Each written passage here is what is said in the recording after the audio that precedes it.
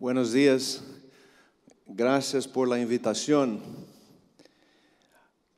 Eh, Marcos, las últimas palabras tuyas fueron el subtítulo de mi presentación. Muchas gracias por las cosas lindas que presentaste con un significado profundo para todos nosotros. La misión de la iglesia y la identidad adventista en perspectiva escatológica, compartiendo esperanza en estos últimos días. Cada uno que está presentando prácticamente ya tocó en algunos aspectos que yo voy también a hablar. Y por eso la belleza de nosotros, cuando nosotros estamos unidos, tenemos eh, este propósito de uno parece que construye arriba de, del otro. Y cada uno va formando como pedazos de este mosaico de la identidad adventista, de este mosaico eh, de aquello que es muy importante para nosotros. Todo verdadero conocimiento y desarrollo, dice Elena de White, tiene su origen en el conocimiento de Dios. Donde quiera que nos dirijamos al dominio físico, mental e espiritual, cualquier objeto que contemplemos fuera de la marchichez del pecado en todo vemos revelado este conocimiento. Cualquier ramo de investigación que emprendamos con el sincero propósito de llegar a la verdad nos pone en contacto con la inteligencia poderosa e invisible que trabaja en todas las cosas y por medio de ellas. La mente del hombre se pone en comunión con la mente de Dios, lo infinito con lo infinito el efecto que tiene esta comunión sobre el cuerpo, la mente y el alma sobrepuja toda estimación. El doctor Moscala habló ayer que el relacionamiento con Dios es la cosa tal vez más importante que exista. Y ahí vemos en este pensamiento el efecto que tiene esta comunión sobre el cuerpo, la comunión, con Dios al relacionarse con Dios, la mente y la alma sobrepuya toda estimación. En esta comunión se habla, se halla la educación más elevada. Es el método propio que Dios tiene para lograr el desarrollo del ser humano. Vuelve ahora en amistad con Dios, dice Job. Es su mensaje para la humanidad. El método presentado con estas palabras fue el que se utilizó en la educación del padre de nuestra especie. Así instruyó Dios a Adán cuando en la gloria de una virilidad exenta de pecado habitaba en el sagrado jardín del Edén. Entonces aquí gustaría de proponer algo que Elena de White propone. Eh, mientras usted puede mirar a los números que yo incluí ahí, todas las palabras que están aquí son de Elena de White.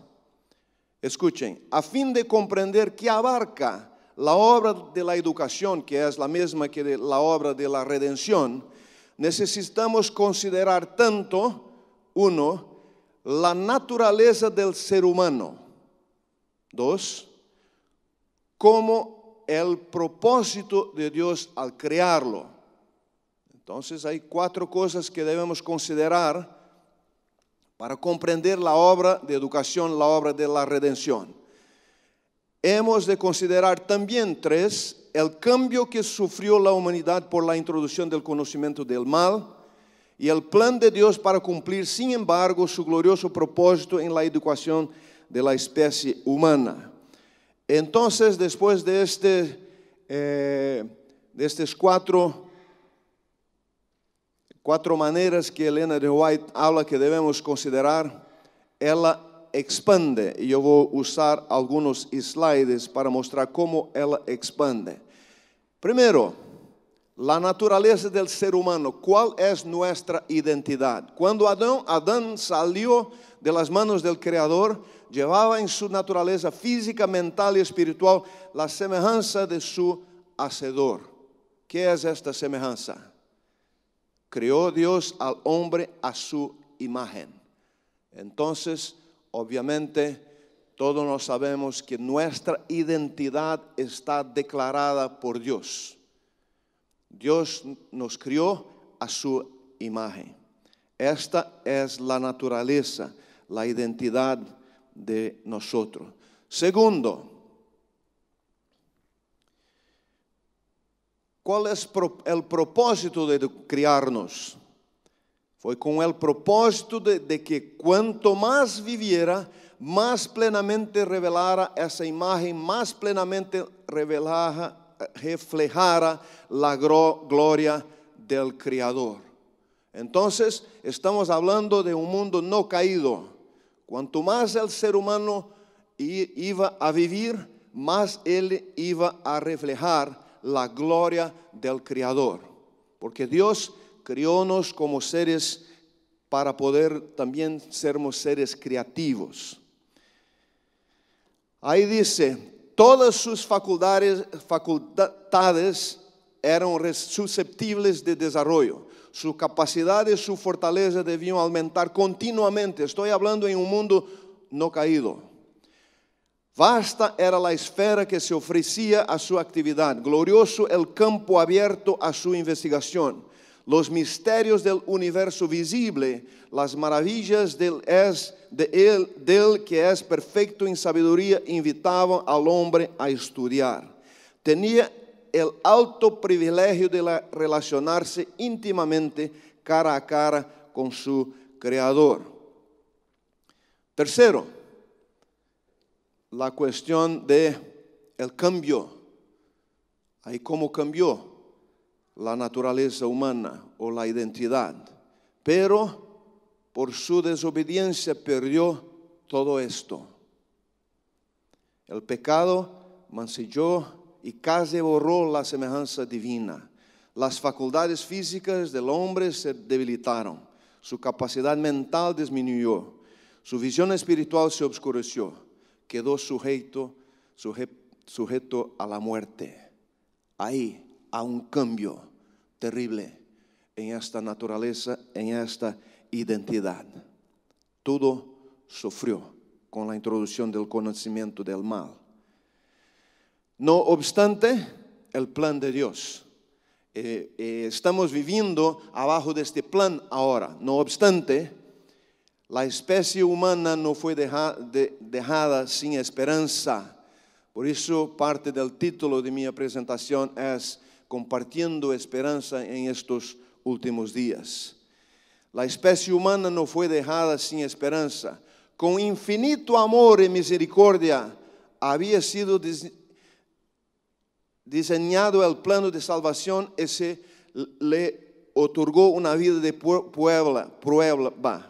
La obra de la redención debía restaurar en el hombre la imagen de su hacedor, devolverlo a la perfección con que había sido creado, promover el desarrollo del cuerpo, la mente y alma, a fin de que se llevara a cabo el propósito divino de su creación. Este es el objetivo de la educación el gran propósito de la vida. Entonces, ¿cuál es nuestra identidad? ¿Cómo compartir esperanza en estos últimos días? La esperanza que Dios estará con nosotros siempre. ¿Cómo hacer en términos prácticos? La, pregunta, fe y obras. Evangelio y la ley, cómo actuar en obediencia, en respuesta a gracia, cómo actuar como cristianos. Vamos a pasar ahí. El amor, base de la creación, de la redención, es el fundamento de la verdadera educación. Esto se ve claramente en la ley que Dios ha dado como guía de la vida. El primero y grande mandamiento, como fue hablado ayer por el doctor Moscala. Amarás al Señor tu Dios con todo tu corazón y con toda tu alma y con todas tus fuerzas y con todo tu mente. Interesante este mandamiento. Al mismo tiempo, ¿cómo podemos demostrar que amamos a Dios? es la pregunta. ¿Cómo podemos demostrar visiblemente, concretamente que amamos a Dios? Y ahí a donde está la carta de, Santiago, muéstrame tus frutos. Entonces eh, podré ver tu fe. Amar al ser infinito, onisciente, con todas las fuerzas, la mente y el corazón, significa el desarrollo más elevado de todas las facultades. Significa que en todo el ser, cuerpo, mente alma, ha de ser restaurada la imagen de Dios. Significa que nuestra identidad está claramente linkada a la identidad de Dios, que es una identidad de amor supremo, un amor que se sacrifica. E infelizmente hoy no gustamos de hablar en sacrificio, mas este es la esencia del amor de Dios, de la gracia. Semejante al primero mandamiento, es el segundo, amarás a tu próximo como a ti mismo. Entonces solamente podemos demostrar amor a Dios. No hay otra manera tangible, real, de demostrar amor a Dios que yo te amo, Señor, a menos que nosotros no demostremos amor compartiendo con el prójimo, amando al semejante como a, ustedes mismos. La ley del amor requiere la dedicación del cuerpo, la mente y el alma al servicio de Dios y de nuestros semejantes. Cuando hablamos de servir a Dios, la traducción del servicio a Dios se demuestra al servicio al próximo. Y este servicio, a la vez que nos constituye en bendición para los demás, nos proporciona la más gran bendición cuando servimos a los otros. Y aquí voy a encerrar eh, la cita de Elena de White. La abnegación es la base de todo verdadero desarrollo. Por eso WAP está en el contexto de ayudar a todos los estudiantes, los maestros, los que trabajan en la institución, a se tornar abnegados. Si no somos abnegados, no hemos aprendido a desarrollar todas las facultades de los seres humanos. Por medio del servicio abnegado, adquieren su máximo desarrollo todas nuestras facultades llegamos a participar cada vez más plenamente de la naturaleza divina. Y ahí está nuestra identidad más superior. Es una identidad que se torna prácticamente visible a todos, a sí mismo invisible. Porque seguimos, como Pablo dice en Hebreos, hablando de Moisés, y ella, ella seguía al Dios que es invisible perseveraba como alguien que ve, que mira al Dios invisible. Somos preparados para el cielo porque lo recibimos en nuestro corazón. Entonces, algunas preguntas básicas. La misión desde una perspectiva escatológica que se compromete a compartir la esperanza en estos últimos días es desde una perspectiva que se mira al pasado, al presente y al, futuro. Gracias Marcos por hacer esta perspectiva de nuestra iglesia, por abrir, ventanas para que nosotros podamos también eh, nos enriquecer con que los otros hacen. Hay dos preguntas interesantes ahí que otros teólogos ya hicieron, que tiene a ver con fe y obras, evangelio y ley, gracia y el trabajo que hacemos de compasión hasta lo otro. ¿Quién es Jesús Cristo para nosotros hoy? Es una cuestión de revelación, sí, de teología, de fe. ¿Quién es Jesús Cristo? La segunda pregunta que está ahí junto con amar a Dios y amar al próximo, ¿Quiénes somos para Jesucristo hoy? Es una cuestión de identidad, de misión. Entonces, ¿qué, ¿quién es Jesús Cristo para nosotros?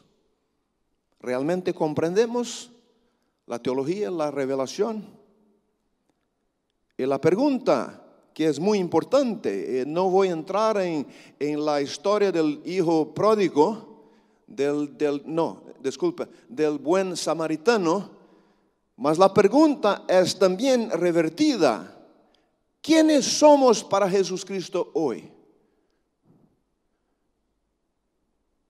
¿Para quién yo soy un vecino? Soy un próximo. No es quién es mi próximo, es para quién yo soy un próximo. Revelación, Dios se revela, teología, comprendemos que también nos da identidad, esta identidad movimenta nuestra fe. Al mismo tiempo, esta identidad movimenta nuestra misión, que produce fruto, que produce obras. Hacemos porque Dios hace en respuesta. ¿Quiénes somos para el prójimo, para el otro en estos últimos días? Vamos a un viaje misionero. Como algunos de, de UAP, yo también tuve el privilegio de trabajar en algunos cantos de, este mundo. Y ahí llegando con Tupulov 154, un avión uh, de la antigua Unión Soviética, de la antigua Rusia. Mi esposa, un día llegué a la casa, estaba trabajando con proyectos humanitarios, con ADRA, una guerra al medio de de una guerra bastante grande entre Armenia y Azerbaiyán. Eh, de un lado, soportada por los eh, rusos que ayudaban a Armenia, de otro lado, tal vez Estados Unidos estaba tratando de ayudar a Azerbaiyán, mas un problema muy grande. Estábamos ahí ayudando más de 500 mil refugiados Llegué a la casa, estaba haciendo una inspección, supervisión en diferentes almacenes de, alimentos, grandes ah, centros de distribución. Y hablé al motorista de Adra, mira, por favor me deja a la casa que tengo que viajar. Tengo que tomar el avión e ir a capital de Azerbaiyán. Yo estaba viviendo, viviendo en un lugar pequeño llamado República Autónoma de Nakhchivan. Nakhchivan, Nakh, Nuh, Noah, Noé. Van lugar, lugar de Noé, cerca del monte Ararat. La divisa con Irán, con Armenia y con Turquía. Entonces hablé a mi esposa, eh, hablé al motorista, voy a la casa, por favor, cuando tú miras el avión bajar, que circula dos, tres veces alrededor de las montañas muy altas de 5.000, 5.200, 5.300 metros cerca de Ararat. Entonces me, me busca en la casa. Cuando entré en la casa, que mi esposa abre la puerta, mi esposa coloca a mi pequeña hija en mis brazos y me dice, por favor Wagner, no viaje hoy. Y no habló más nada. Simplemente dice, por favor, no viaje hoy. Quédate con nosotros. Nosotros somos el presente, el regalo más lindo que Dios nos regaló. Se queda con nosotros. Yo me quedé con la, con la hija en mis brazos y me quedé de una manera, un momento, tal vez el, casi que el único, tuve otro momento en mi vida. Eh, parecido, mas este prácticamente el único que fue algo metafísico, que uno no puede explicar. Me quedé que como inmovilizado, como que frozen, como que frisado se dice ahí, congelado. No conseguía hacer. tenía que arrumar mi, mi maleta, mas no podía hacerlo. Entonces pasó el tiempo, estaba con la niña, el motorista llegó a mi casa batiendo fuerte, dice, mira, el avión ya bajó, pegas tu maleta, vámonos, tú tienes que viajar, tu billete está pronto, y no solo en este momento ahí, teníamos que tener comprar un billete, registrar el billete en la compañía aérea, después registrar el billete con el gobierno, ir al ministro de guerra, colocar un carimbo ahí, un sello, una asignatura, una firma, y después pegar otra autorización, cinco autorizaciones para poder viajar. Y esto era algo muy complicado de hacer, demoraba varios días. Si tú tenías conexiones con el gobierno. El motorista llegó y dice, vámonos, vámonos. Y yo digo a él, no voy, no, no, no voy. Arregla el, billete para mañana, para otro día. No, está imposible. Tenemos que ir, vámonos, vámonos. Casa que me mandando, me ordenando ahí. Dice, me disculpa, no voy. Salió un poco ah, nervioso, salió un poco ah, triste y se fue. La próxima cosa, encontré esta foto que voy a pasar año pasado. Esta experiencia se pasó a muchos años, mas solo año pasado encontré esta foto.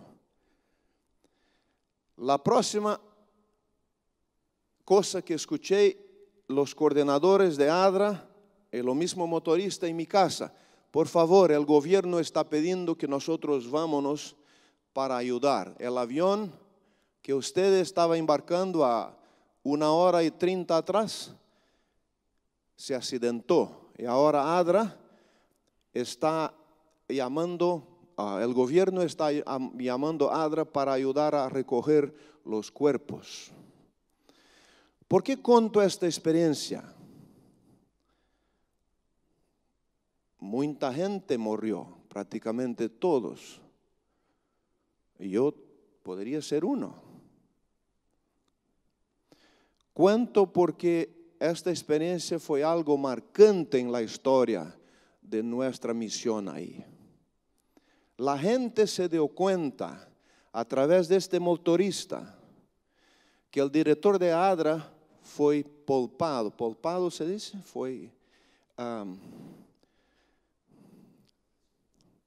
spared, salvado. Entonces empezaron a preguntar por qué oh Dios, Alá, salvó al director de ADRA. Incluso un muchacho que estaba ahí abajo, atrás del avión, bien atrás, totalmente atrás. Cuando vio que el avión estaba cayendo, se enroló, se colocó envuelta de, de una carpeta, se colocó en un canto, en abajo de los sillos del avión. Este muchacho no murió. El, un primo de un director regional de ADRA también. Empezaron a preguntar. Enseguida una señora vino a mi oficina, una abogada, y ella me preguntó, ¿tú eres cristiano? Ah, yo trabajo para ADRA. No, no, de ADRA yo conozco todo. Quiero saber si tú eres cristiano. Y después de un año, ahí se bautiza Aigun. Aigun se llama luna y sol. El nombre significa sol y luna, Aigun, en la lengua eh, tradicional. Ella se transformó en una traductora.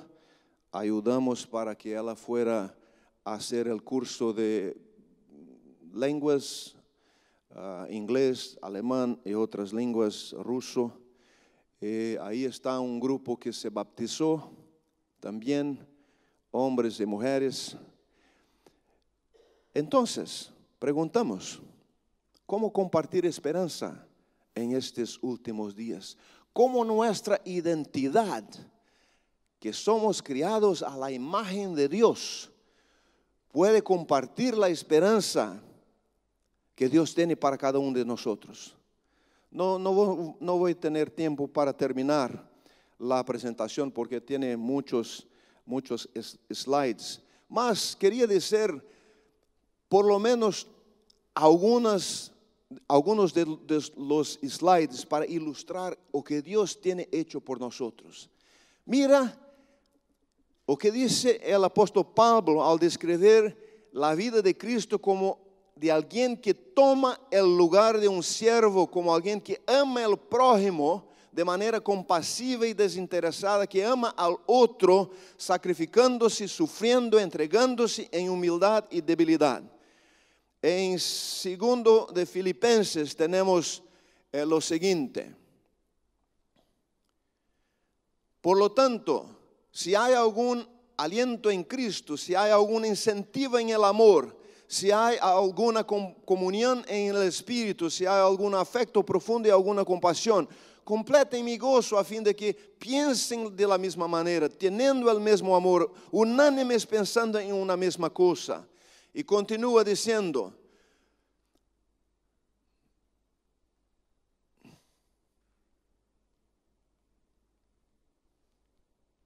Não hagam nada por rivalidade nem por vanglória, sino estimen humildemente a los demás como superiores a ustedes mismos. Quería que ustedes pensasen en, esto, porque vivimos en un mundo que prácticamente todo gira en torno de nosotros. esto que Pastor Marcos, también Doctor Moscala estaban tratando de decir. Pensamos que somos los mejores, através de nós mesmos normalizamos, somos normales. Se eu sou normal e tu és diferente, então tu não és normal, tu és pior, tu és menos. Pablo está hablando a Filipenses exatamente ao contrário. É considerado o livro de Filipenses, este capítulo especialmente, o livro mais contracultural que existe. La cita más contracultural está ahí. Estimen humildemente a los demás como superiores a ustedes mismos, no considerando cada cual solamente los intereses propios, sino considerando cada uno también los intereses de los demás. ¿Qué Pablo está haciendo aquí? Él está diciendo para nosotros claramente, hagamos lo que Dios ha, ha tiene hecho por nosotros. Cristo se sacrifica. Y ahí continúa el capítulo que todos nosotros conocemos de la que es que Dios se esvacía, que Dios se da, se entrega totalmente.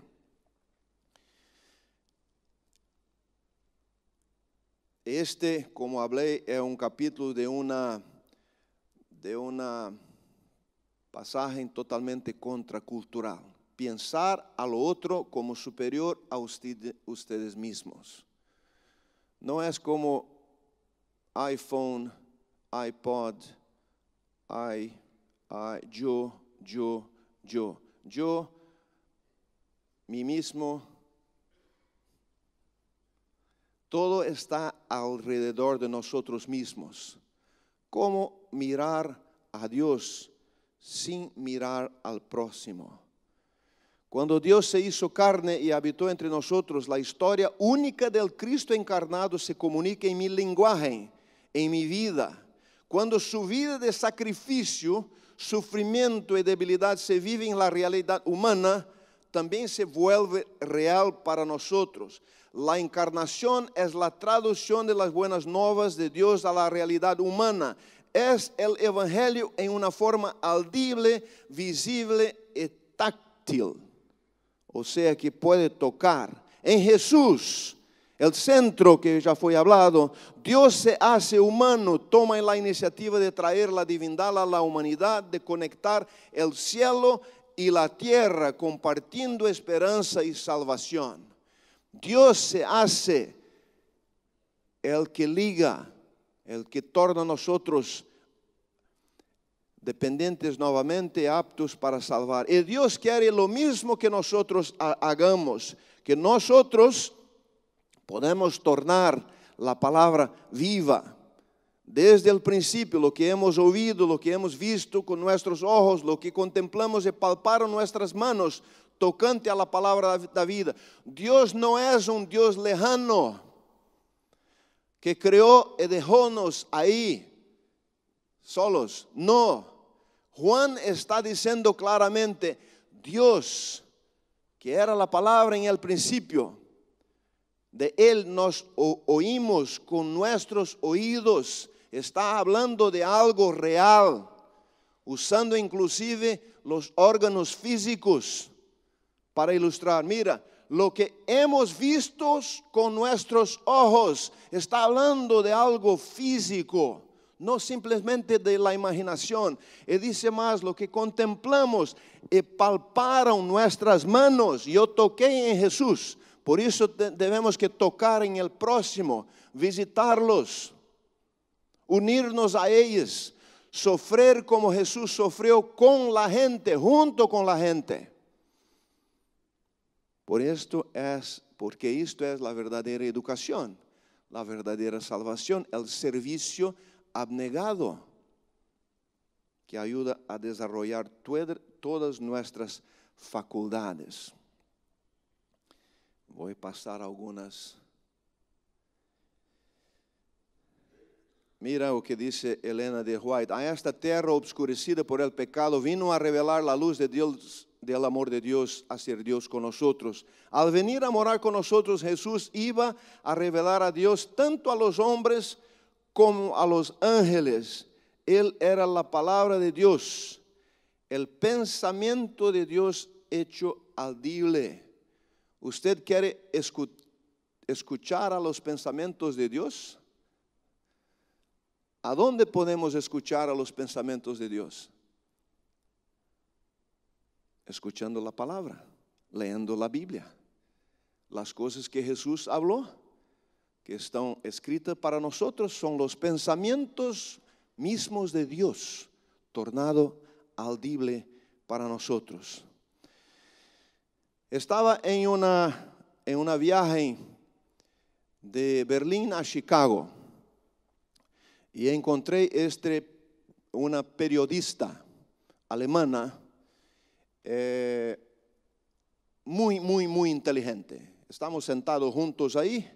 Esta periodista em, empezó a preguntar algo y yo rápidamente entendí que era una periodista muy inteligente, muy incapaz. Uh, entendí también que no tenía chance, chance de argumentar con ella, porque ella era una ateísta al nivel, al nivel de ateísmo del ADN o el DNA.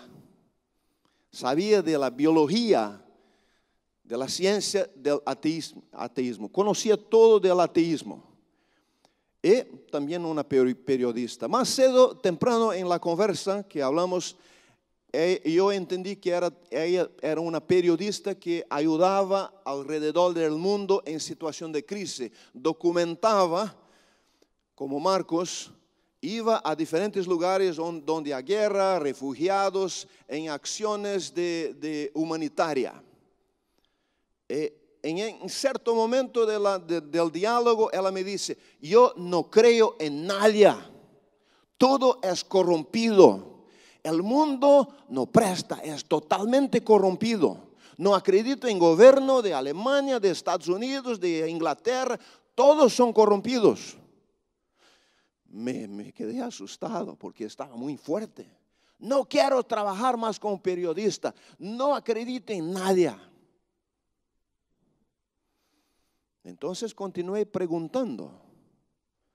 Y pregunté cosas. Y, obviamente cuando ella me habló que trabajaba con cosas de, United Nations, de, las Naciones Unidas, eh, haciendo sus, sus artículos alrededor del mundo para para guerras y para acciones humanitarias, porque había trabajado en ADRA, simplesmente también uh, entendía alguna cosa de, lo que ela hacía.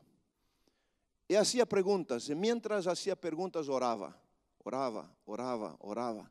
Entonces entró en el asunto del ateísmo. Interesante que recién yo había leído este libro ahí, eh, El engaño de, Dawkins, el fundamentalismo ateo y la negación de lo divino.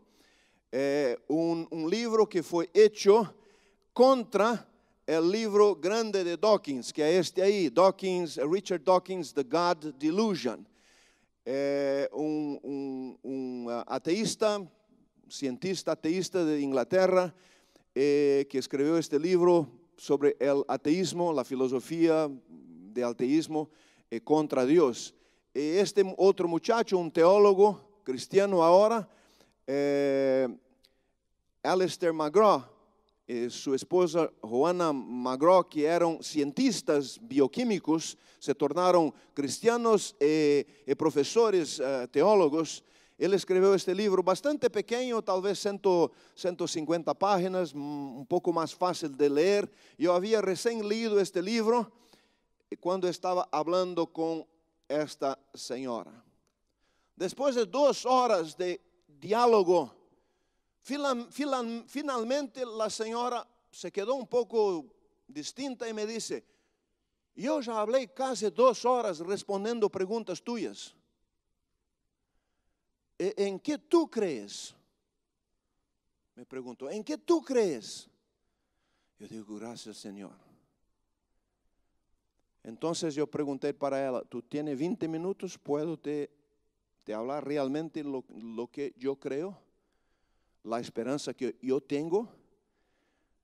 Sí, sí, yo quiero que tú hables porque hasta ahora solo yo hablé. Entonces, esta pregunta o que tú crees impactó mucho nuestro diálogo. Y yo hablé para ella, yo creo en la esperanza que Dios tiene un plan mejor para nosotros. No, yo no creo. Yo creo, empecé con Satanás como un ser de luz, Lucifer en cielo. Hablé sobre la rebelión del cielo. Hablé sobre la creación de este planeta, de este mundo, la creación del Edén, de nosotros como seres hijos de Dios, nuestra identidad para estar juntos con Dios, siempre como seres libres. Hablé del plan de la salvación, obviamente de la caída. Y fui hablando de Jesús que se sacrifica y de la esperanza futura que vamos a vivir con Dios en el cielo, en esta tierra renovada. Y fui hablando y ahora no acredito, no, acredito, no puedo acreditar. Hablé del sufrimiento de este planeta. Una de las mayores pruebas que Dios existe es la propia existencia del mal. ¿Cómo tú puedes explicar el mal? Y ahí colocó algo muy, muy problemático en la cabeza de ella. Y finalmente ella me dice, yo tengo una amiga compartimos un apartamento, ella tiene un hijo. Esta muchacha está muriendo de cáncer. ¿Qué, yo hablo a ella? ¿Qué yo puedo hablar a ella? Me hable un poco más de Dios. Entonces yo tengo mucho más ah, ah, slides, más mi tiempo terminó. Eh, gustaría de simplemente eh, finalizar con algunas preguntas algunas simples preguntas.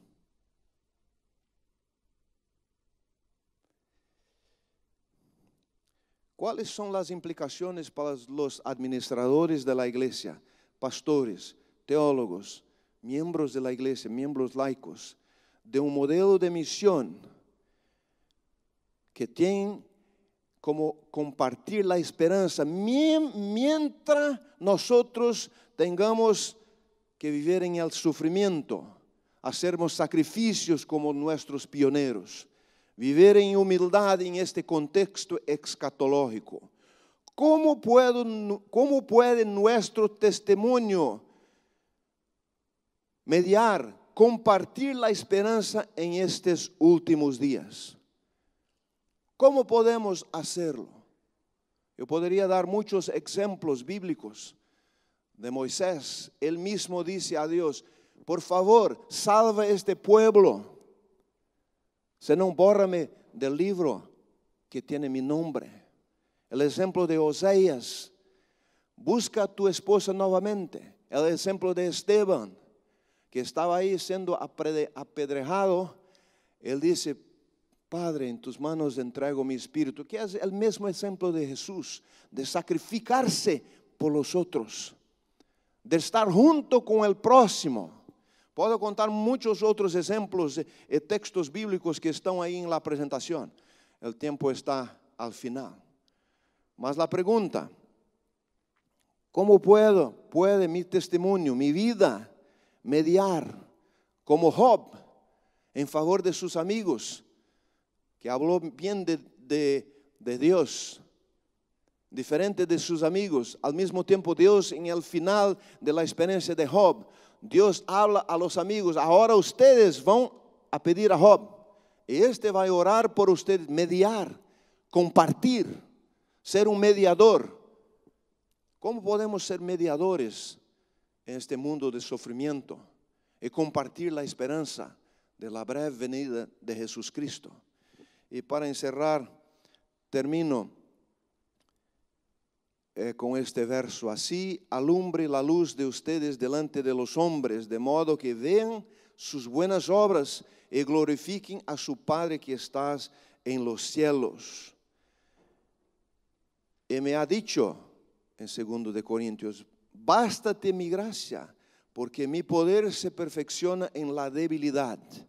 Por tanto, de buena gana me gloriaré más bien en mis debilidades, para que habite en mí el poder de Dios, porque eso me complazo en las debilidades, afrentas, necesidades, persecuciones y angustias por causa de Cristo, porque cuando soy débil, entonces soy fuerte. Que Dios bendiga a todos ustedes y que podemos, podamos compartir la esperanza en estos últimos días, porque esta es nuestra identidad.